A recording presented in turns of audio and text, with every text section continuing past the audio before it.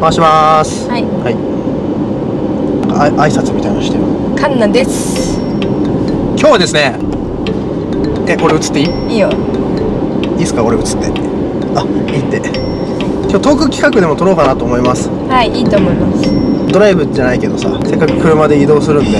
まあ、ついでにトーク企画でも撮ろうかなと思はい。っております。はい。じゃあお題は？トークテーマ？うん。まあもうカメラの画角の都合上俺も映っちゃうんで、はいそうですね。あのだからカンナが一人で喋るっていうよりはせっかくなんでそうだな。俺らの一緒にレスリングやったりいろいろいいろんなこと一緒にやってきたから、うん。か過去の話とかでもいいんじゃない？あいいと思う。まあ俺のではないけどカンナの過去はさ俺しか知らないようなこともあるかもしれないし。うん。過去の話についてカンナの。はい。カンナのね。うん。喋っていこうよ。いいですね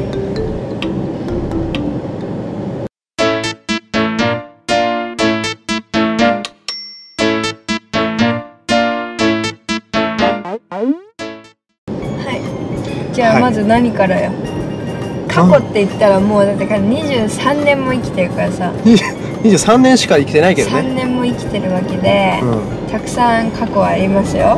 ん、何がいいか。まあカンナの過去といえばやっぱまあレスリングからさうん。言ったらスタートしてるようなもんじゃん、うんレスリングはさうん。えやってましたっていうのは多分みんな知ってるけどさうん。えじゃあどんなぐらい強かったのとかさ、ん。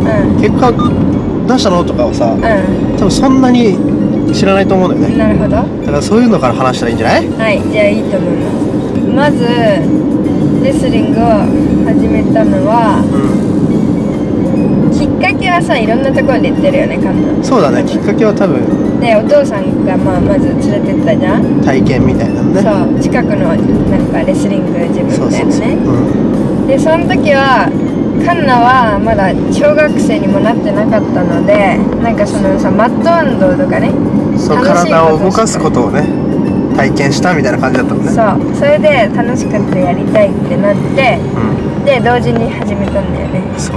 一緒だよね。だから俺が多分4年生5年生になる直前ぐらいだよね、うん、だからカンナも1年生になる前ぐらいだったから始めてそっからカンナのレスリング人生はスタート。カンナってじゃあさ初めての習い事がレレスリングだっけ？そうだよ。あそっか。うん。本当にじゃあ最初から最後までこの世界みたいな 感じなんだね大きいそうそうくくりで言うレスリングを始めまして。でそっからそっから地獄の始まりだったよね。と割と地獄の始まりだったね。割とね。ノリで始めちゃったものの。もののね。やっぱりカンナはもともと別に運動ができるタイプではなかったのでとなんだ闘争本能っていうのかさそういうのもさバチバチなタイプでもないしね。そうそうそう。どちらかといえばもうなんて言うんだろう。陰だよね。陰だったよね。陰寄りのキャラだったかもしれないね。すごい人見知りだし、あのなんか人前でなんかすることもないしで人前に出るのは好きじゃなかったもんね。そう目立ちたがりでもないみたいなね、うんうんうん。そういう性格だったので。いいんだね。いいんだったよね。だから例えば誰か親戚がさ「おカンナかわいいね」とか言ってもさもうもう。そう。みたいな。ママいなきゃ生きていけないみたいなあー感ザザそんな感じよね。じでねで抱っこ抱っこで、うんうん。どうしようもない子だったよね。だから強くないのよそもそもね、うん。あのなんか向いてなかったよね。向いてない。絶対。でも負けず嫌いではあったとそ思う。う。それ俺も言おうと思った、うん。唯一向いてる要素は負けず嫌い。マジで負けず嫌いだった。タチ悪い負けず嫌いだったよね。絶対勝つまでやらなきゃ気が済まないタイプのさうん。本当に負けず嫌いだったもんね。そうそうそうそれはね唯一良かったと思うよ。ここだけだね。あの格闘家っぽいところは、うん。そこからこう見えて始めまねして、でもまあ勝てなかったもんね。もう勝てなかった、まあ一生負けれないもんね。そう。一一回戦すら勝てないみたいなのが1年半くらい続いてお兄ちゃんは1年くらいかな。うん。で言うてお兄ちゃんもそんなにさそう別に。ずば抜けたもの持ってなかったもんね、うん。お互いそんな感じだったんですけど。スタートねしたらお父さんがもう気合入りまくってしまって。ちょうど洋平さんが俺らが勝てないことにモヤモヤし始めたんだよね。そうそう本気になっちゃったのお父さんが。でこいつらを勝たせてあげたいと思ってねすごい厳しかったよね。毎朝6時に起こされて走り行って、学校の前にね。うん、でその懸垂を10回5セットやって学校行くみたいな。ね小学校の時は。毎朝ね帰ってきてからもまず懸垂ややれみたいな、うんそうそう。玄関入る前に懸垂やってから。じゃないとオチ入っちゃいけないみたいなね。で遊ぶのは禁止。うんうん。遊んでる時間があるなら、懸垂した方がいいうん、練習しろ。マジでほんとそうだもんね。マジで遊ぶの遊びに行ったことないもんかな友達と。でプラス宿題もそんなもんはやんなくていい。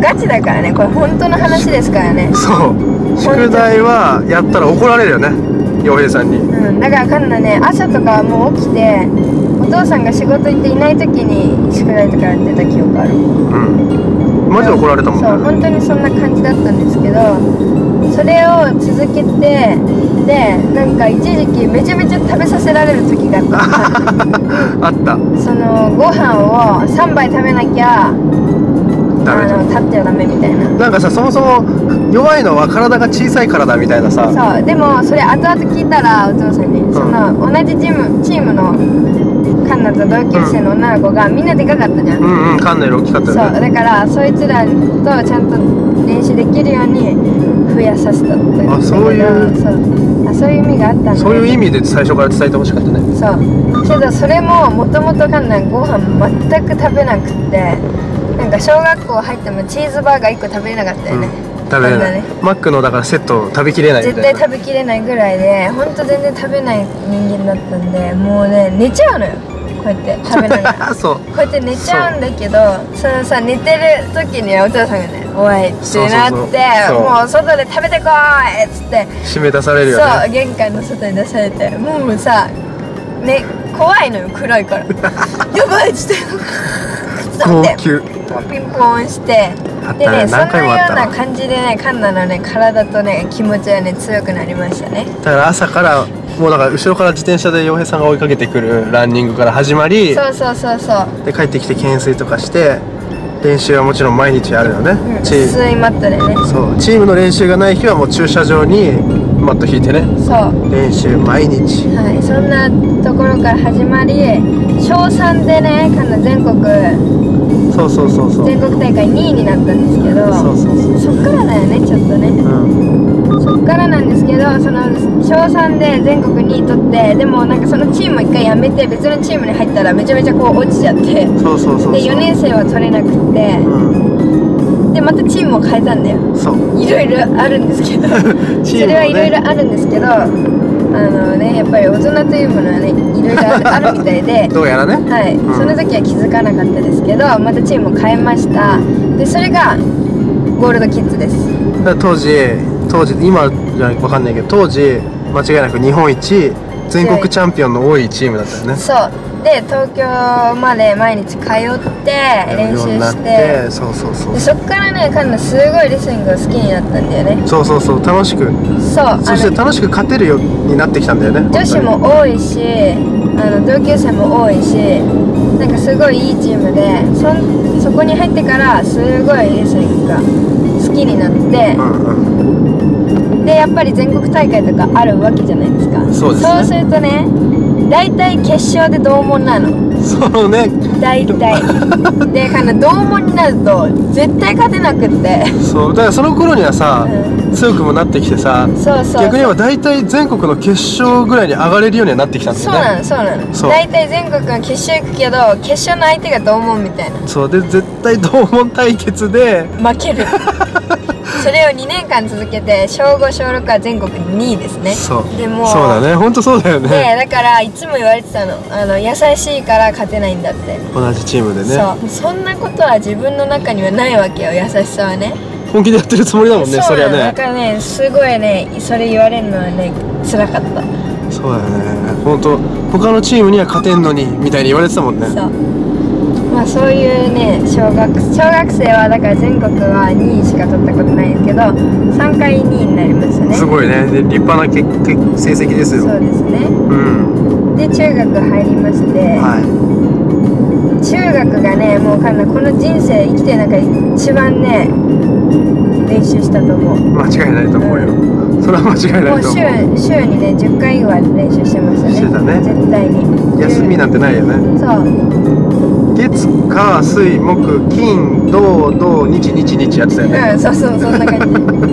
3ブレン4ブレンとかも週末中は当たり前のようにやってたんでまあそりゃそんだけやってりゃ結果はね出ますよね。うんそうだね。だけど中1は全国取れなくてうん。あれで中2どうしたんだっけな。全然覚えてないけど中3の全中でそうね同門でまたね。また決勝まで行って。また決勝まで行って同門対決であの負けました。私中3も。だから中3も2なるほど。位だからね大体ね2番はね全国2位が多いよね。そうここって時に勝てないで終わる感じだったよね。とはいえいいねとこで勝てないみたいな。そうまあ同門だからあれだけどでもやっぱ全国2位に何回も全国の表彰台に何回も上がるってのはすごいよね。まあね。冷静に考えたらすごいよ。まあそうでしたね。うんそうだね。でも本当に2位ばっかりっていう感じではあったよね。それが良かったよ。でもカンナの負けず嫌いがさうん。あるからさなんか負けたまんまじゃっていう。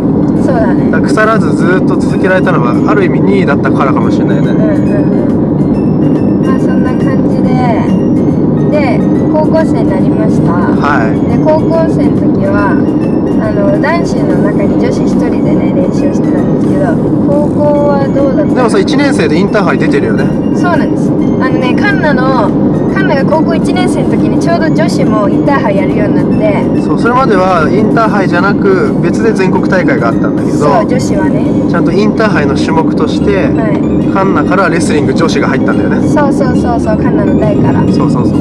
で、まあ、選ばれ出れるようになってでインターハイ出てでね3位になりました、すごいよね。1年生で3位だからね。そう高校でねそれが一番分かりやすいかもね。インターハイって言うとね。高1でうん。3年生に負けましたけど。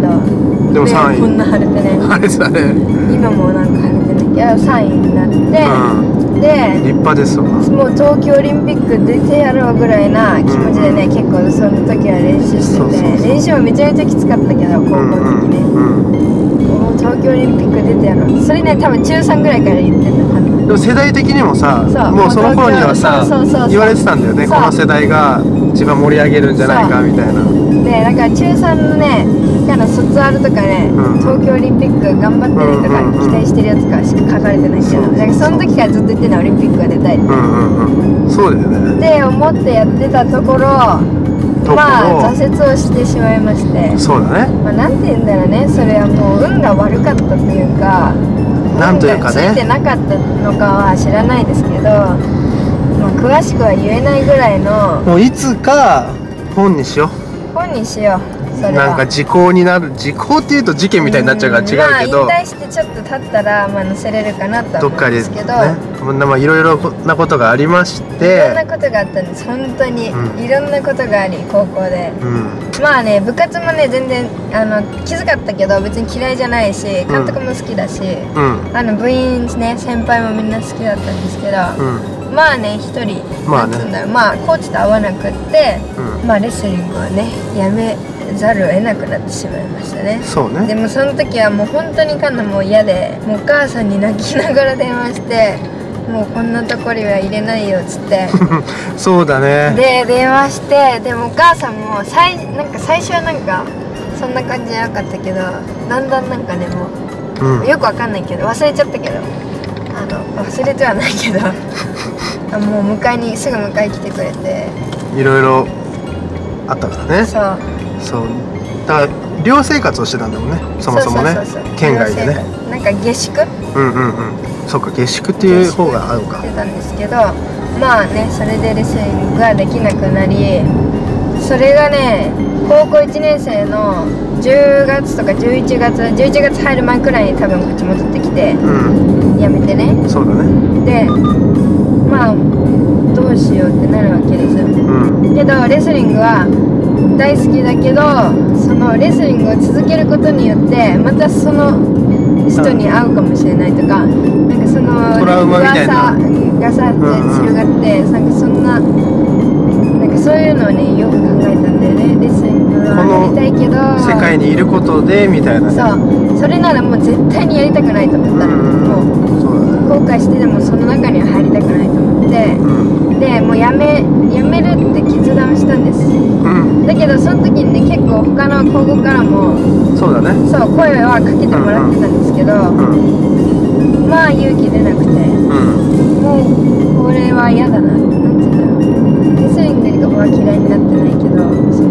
世界でまたな分かる、まあ、難しいね。でも伝えるのが難しいねな。なんかその、うん、嫌だったんですねもうもうそのそこまで頑張れないと思うん。って、で辞めるって決断をした時にある高校ち自分の、ね、近くの高校からなんかレスリング部が来年できるからそうそうそうそう。はい。なんかもしレスリング続けるならあのー転校でできる転校で入れるよって言われたんですよ。うんね。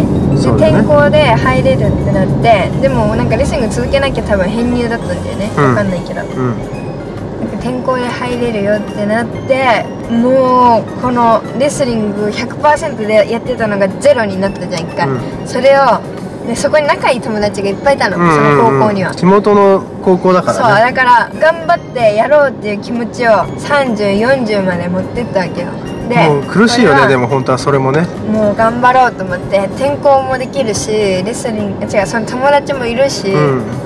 もうこれはもうちょっともう一回じゃあ頑張ろうかなと思ってじゃあやりますってなったんだよね。そう気持ちもそうだし実際にそういう風に動き出そう出したんだよね。そう。うん。でそういう話になっててもう別にそこはね結果もあったから入れるよみたいなうん。感じだったんですけど、なぜか1月過ぎてうん。テストをやるみたいな言われたんでね。要は転校じゃなくてなんか要は入試みたいな感じのちゃんと試験を受けてうん。やれみたいなね。そう。本当は声かかってたのはレスリング部を立てて創部するからでカンナの実績があれば入れると。私立だからね。そう。だから入れると思う高校はもうそのまま入れると思ってたから別に何も動いてなかったんですけどその1月過ぎてからテストの試験やるって言われて、うん。しかも何週間後みたいな。うんうん。1週間後2週間うん。で彼の勉強なんて今までやってきてないのでえってなってめちゃめちゃ勉強したけどまあ無理じゃんね、うん。でなぜか落とされたんですよその高校。そう。でレスリングをまたでやらないっていう状況に落とされて。しかもしかも1月ギリギリえじゃあ高校も入れないじゃんみたいなね。そうね。でも同じ学年のまま次の学年に上がれなくない？みたいな。もうそれは100%無理だったんだよその時点で、うん。無理になってしまって。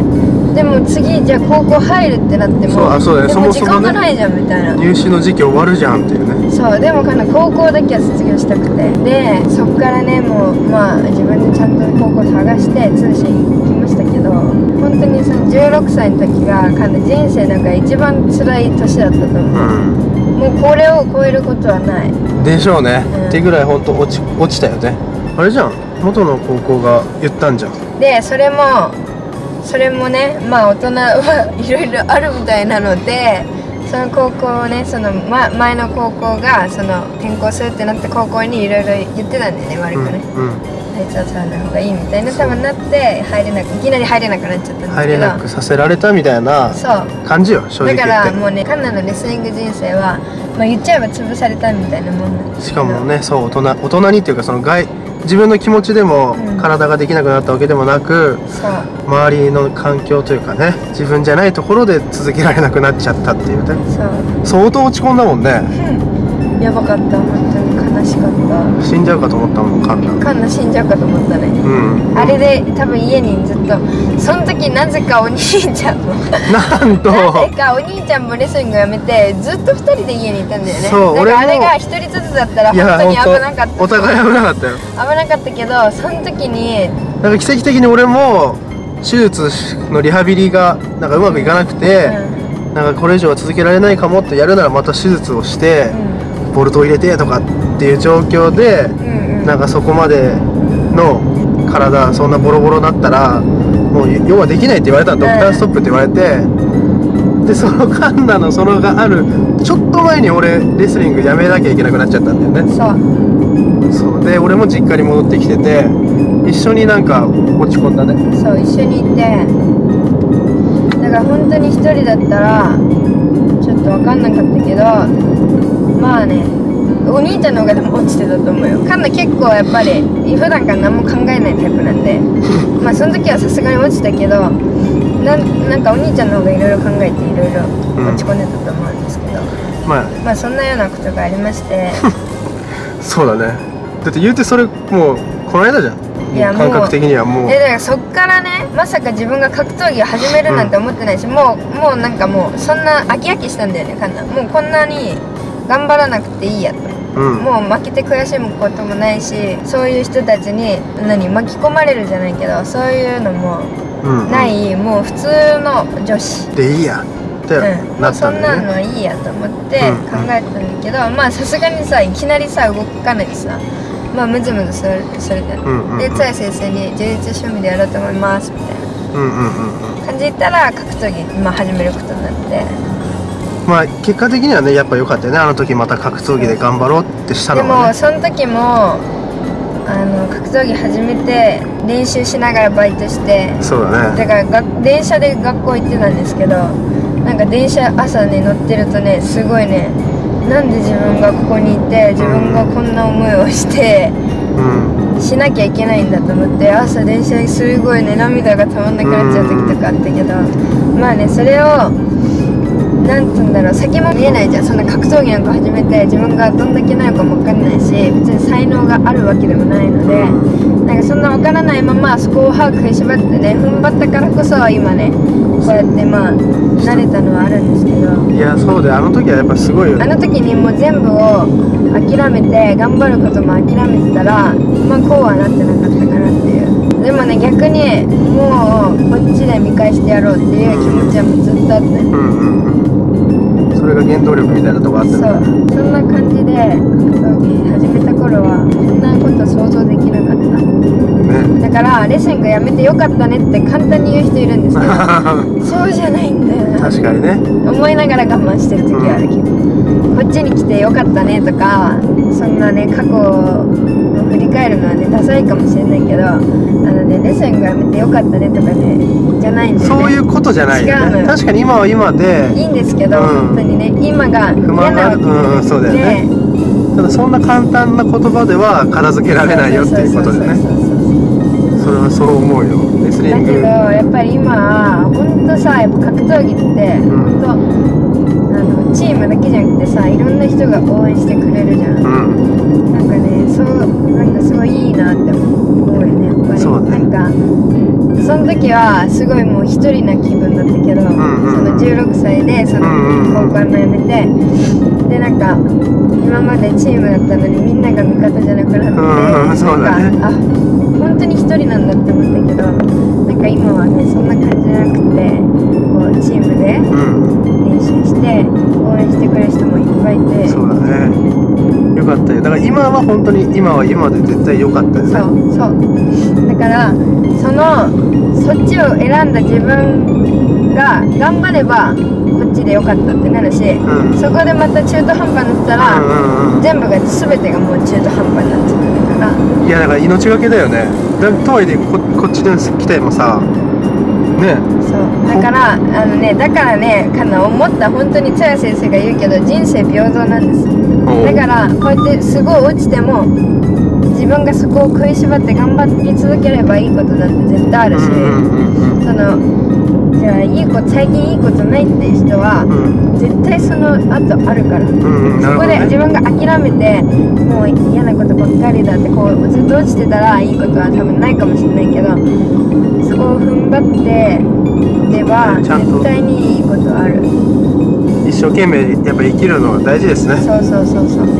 そう思う本当にあのねレイナさんに勝った時なんかはうんなんかやっとうんうんなんか自うん分カンナとしてさ実ったなうんうん全てが全てがじゃないけどなんかやっとここまでの全部含めてねそのうんレッスンが見たことも含めてやっとこうやって実るんだって思ったよかったよね本当。